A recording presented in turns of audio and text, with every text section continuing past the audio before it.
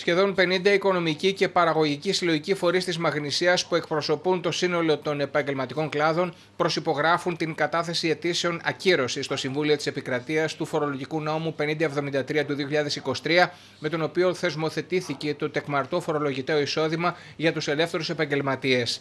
Οι αιτήσεις ακυρώσεως του επίμαχου νόμου κατατέθηκαν κατά της απόφασης του διοικητή της Ανεξάρτητης Αρχής Δημοσίων Εσόδων, που καθορίζει το πλαίσιο εφαρμογής του νέου φορολογικού νόμου, με βάση τον οποίο προκύπτει η επιπρόσθετη φορολογική επιβάρυνση για τους ελεύθερους επαγγελματίες.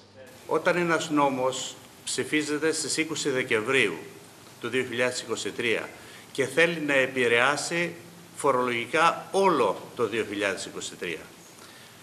Όταν ένας νόμος πίσω από τις λέξεις του ψιθυρίζει σε κάποιους, κοιτάξτε, δεν χρειάζεται να ασφαλίζετε τους υπαλλήλους σας κανονικά, γιατί αν το κάνετε θα πληρώσετε παραπάνω εφορία εσείς.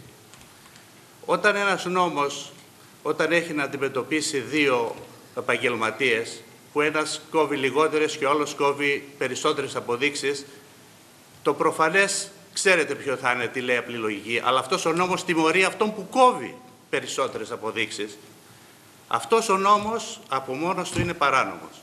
Οι λόγοι για τους οποίους κατατέθηκαν οι αιτήσεις ακύρωσης του φορολογικού νόμου αφορούν στο θέμα της ισότητας των πολιτών έναντι των φορολογικών αρχών, στην νομοθετική εξουσιοδότηση του διοικητή της ΑΔΕ να επεκτείνει τον φορολογικό έλεγχο σε προηγούμενα έτη και σε άλλα φορολογικά αντικείμενα, καθώς και στο μείζον θέμα του τεκμηρίου φορολόγησης που σύμφωνα με τους προσφεύγοντες στο Συμβούλιο της Επικρατείας αφορά στους μισθωτούς και όχι στους ελεύθερους επαγγελματίες.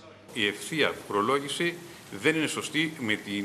Έχουμε ξεκινήσει τις δηλώσεις, υπάρχουν πολλές αδικίες, βγαίνουν μεγάλα ποσά σε πολύ κόσμο που δεν θα έπρεπε. Τα τεκμήρια υπήρχαν, τα αντικειμενικά, έρχεται τώρα και αυτό και δυσκολεύουν τα πράγματα για τον κόσμο.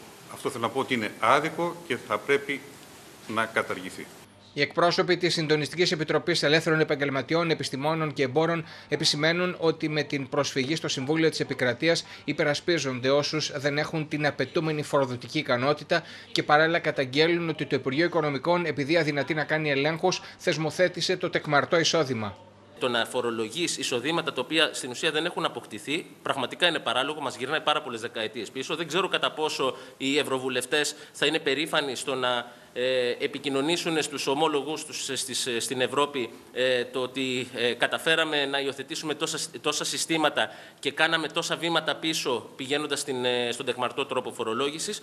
Ε, όπως και να έχει, είναι πέρα ως πέρα ε, άδικος ο συγκεκριμένος νόμος. Έχουμε τοποθετηθεί σαν εμπορικός κόσμος ε, γι' αυτό και συντασσόμαστε απόλυτα με τον ε, Δικηγορικό Σύλλογο και με τους υπόλοιπους φορείς. Ε, είναι κάτι το οποίο πρέπει να το παλέψουμε μέχρι τέλος, ώστε να σταματήσει αυτή η κατάφορη αδικία, γιατί περί κατάφορης αδικίας πρόκειται.